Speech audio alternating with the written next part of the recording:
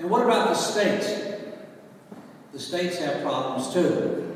The simple fact of the matter is, if you look at total liabilities and unfunded promises per taxpayer, which includes underfunded pensions, unfunded retiree health obligations, uh, Massachusetts is number 45 out of 50 states uh, in, in uh, liabilities and unfunded promises per taxpayer. By the way, these numbers are conservative. Actually, actually, the numbers are worse than this because the assumptions that typically are used uh, by the states to calculate return on return for pension assets, uh, you know, are frankly uh, not reasonable in many cases.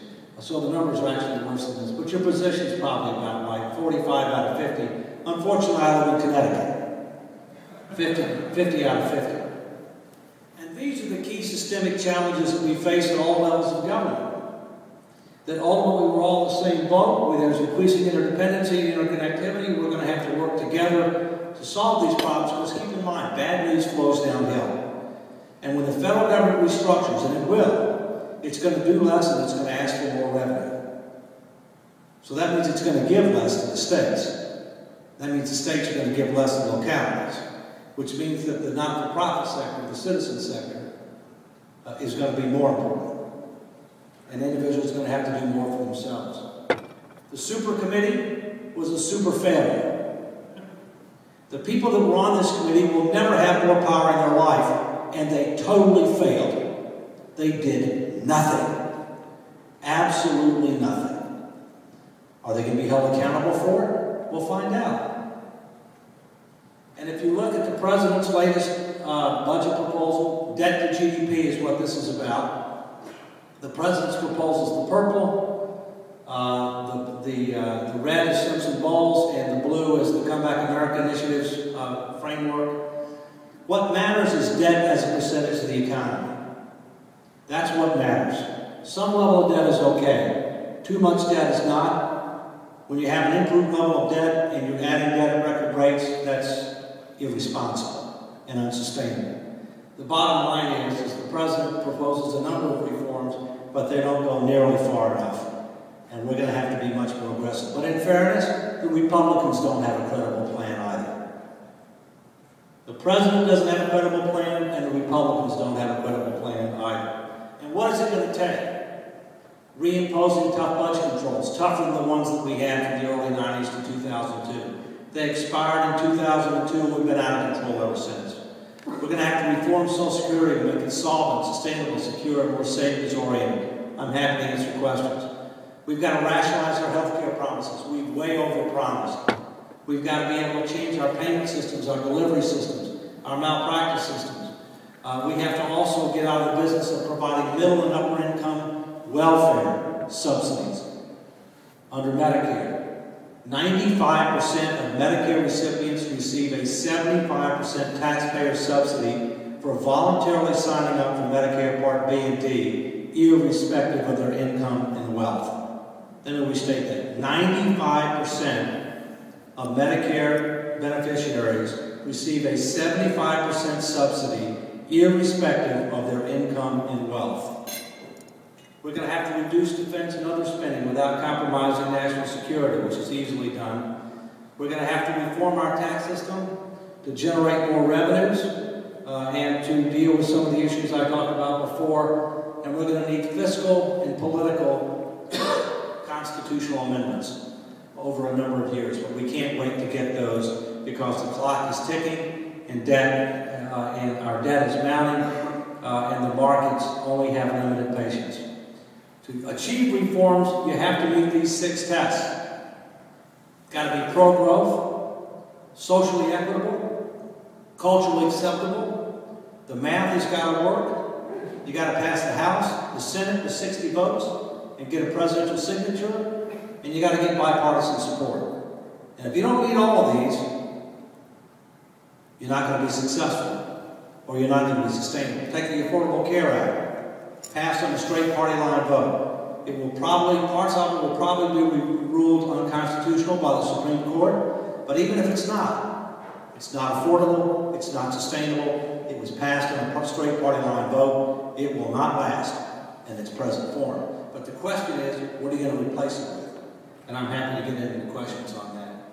The federal government, I'm moving ahead, the federal government has been in existence since 1789, and it still has no strategic plan. No forward-looking, trend-based, threat, risk, opportunity-oriented, outcome-oriented, resource-constrained plan. Nothing. So as a result, what does it do? It spends more money. It gives more tax preferences. It issues regulations in the hope and possible expectation that they will make a difference. But they have no idea whether they do or not.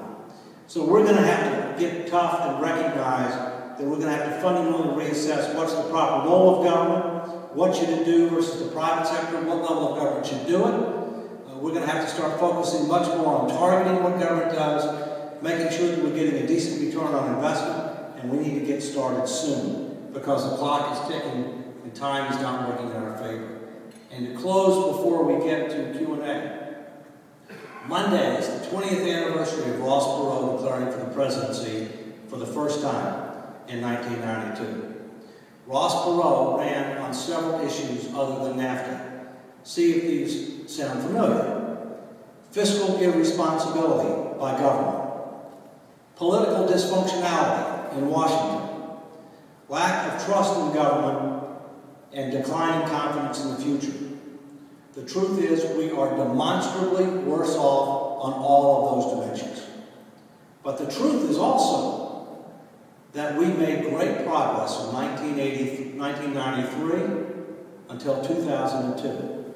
In part because he woke up America, in part because he made the presidential debates much more substantive, and in part because he affected Bill Clinton's agenda and also sent a shot to Congress that they might lose their job if they didn't start behaving more responsibly.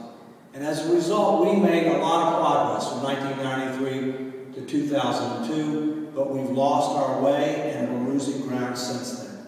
So we need to repeat what happened in 1992, but without Ross Perot running for the presidency. Uh, in closing, we are a great country, arguably the greatest in the history of mankind, but we're not as great as we think we are. We're living on our past success. We've strayed from the principles and values that made us great. The good news is this we can turn it around. On the fiscal front, the top three countries in the world are Australia, New Zealand, and Sweden. They faced serious challenges in the 90s. They got their act together. They made tough choices. If they can do it, we can do it. We've got proposals out there, the Simpson Bowles Commission, the Comeback America initiatives, reform plans, and others, that if they were adopted, will restore fiscal sanity and will help make sure that we stay great and our future is better than our past. So what's the problem? The biggest deficit this country has is a truth deficit and a leadership deficit. People are starved for truth, leadership, and solutions. And we need to do what we can to make sure we get them, and soon. I would ask you to take five to ten minutes of your valuable time. Go to fiscaliq.net there's an online quiz. It's true, false, agree, disagree. Over 40,000 Americans have taken it the last month from all 50 states and 85 countries. It'll help you understand what you know, what you don't know, and whether or not you're likely to be part of the solution or whether or not you may be part of the problem. The lowest average scores today, people under 18. You can expect that. The second lowest average scores, elected officials. Many people think elected officials act like juveniles. That's a matter of opinion, but they sure score like juveniles.